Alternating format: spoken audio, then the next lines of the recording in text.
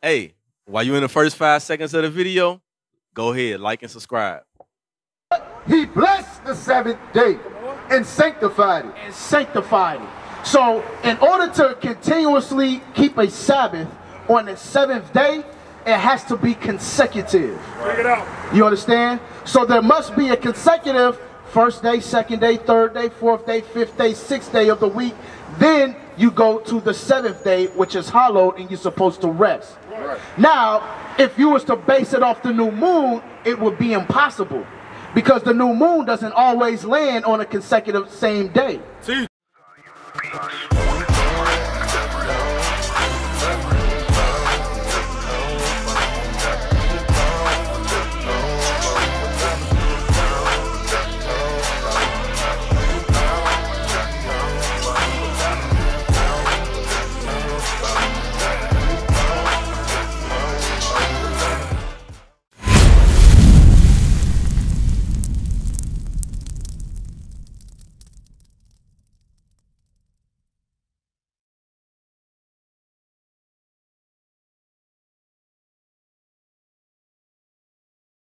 this, and I'm going to show you what the problem with that is. I'm going to show you why this is very important. Romans chapter 2. Romans 2. I believe it's verse 13 or verse 11.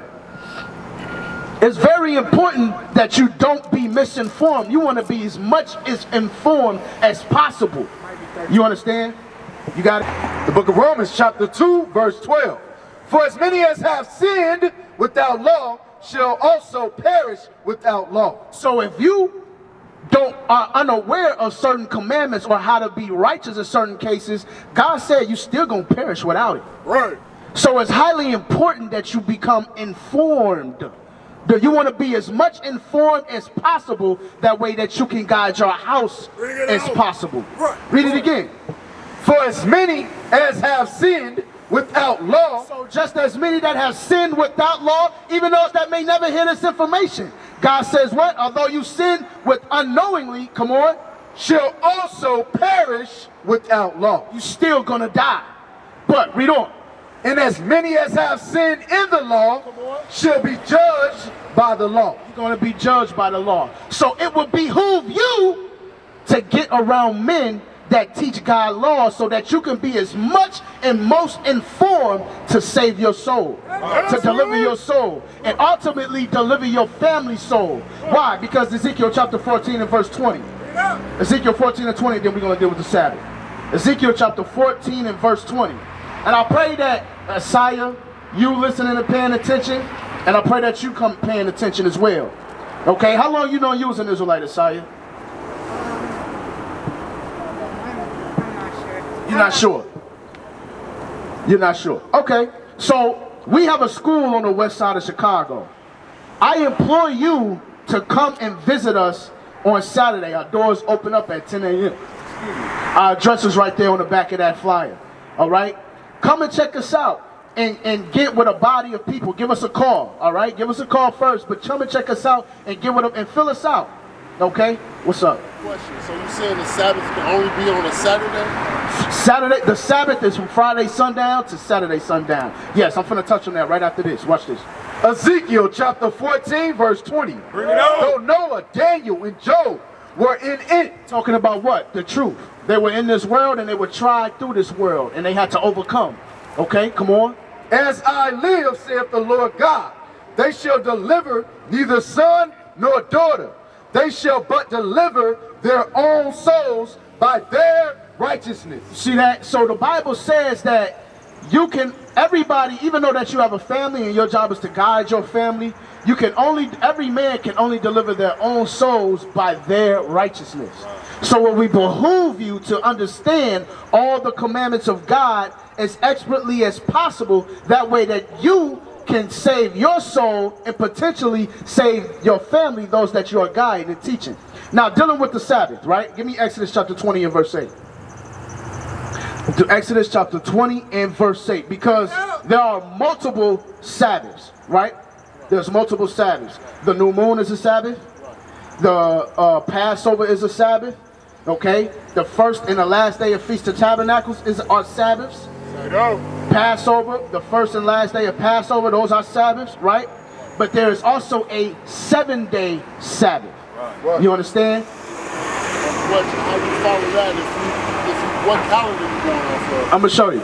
Warrior calendar, the The Gregorian calendar, get the Gregorian calendar out your mind. So Gregorian calendar, that was created by Rome, okay? And they named it by Gregory, all right? They named it after him.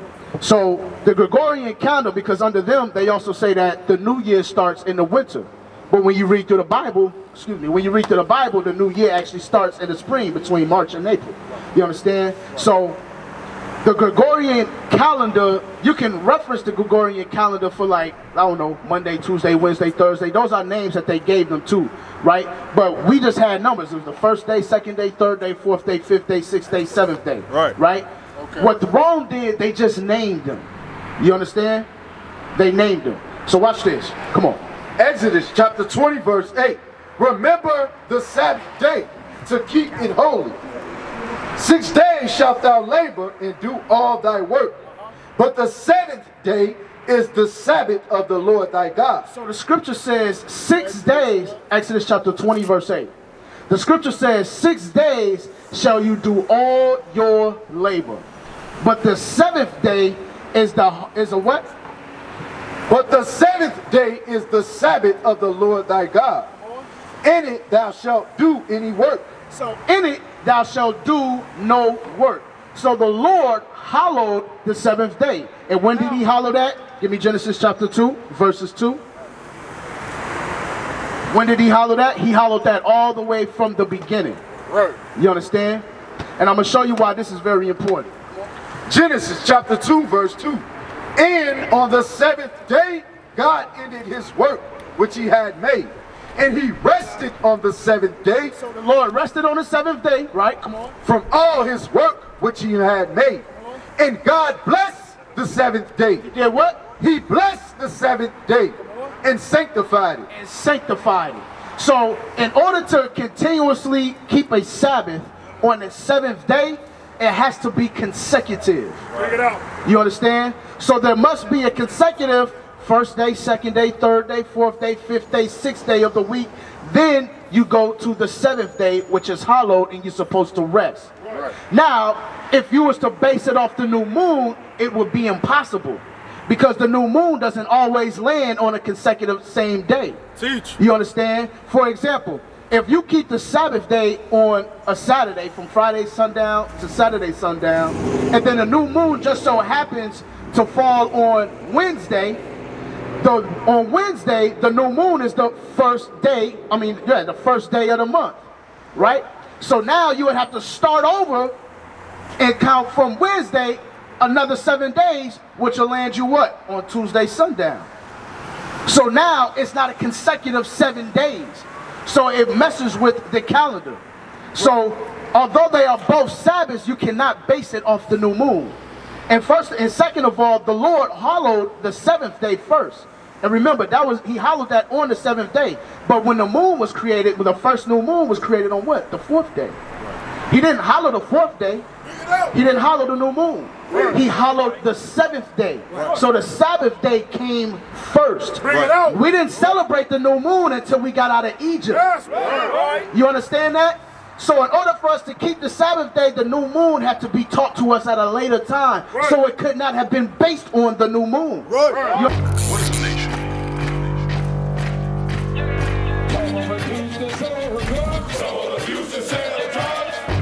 Nation is men leading by example.